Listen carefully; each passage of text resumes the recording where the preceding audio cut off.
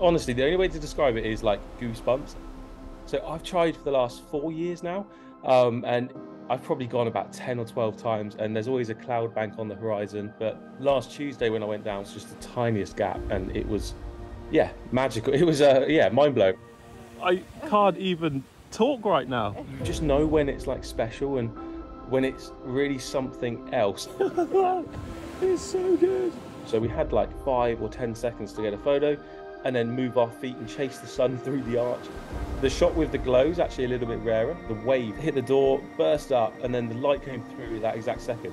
And it's like glow, it looked like a portal coming through. In my life, I've probably taken, looks like around 80,000 photos, and this is right up there.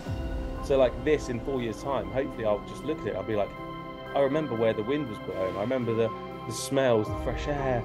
I mean, it's just a, a special moment that I'm happy to be able to capture and share, and uh, on to the next ones.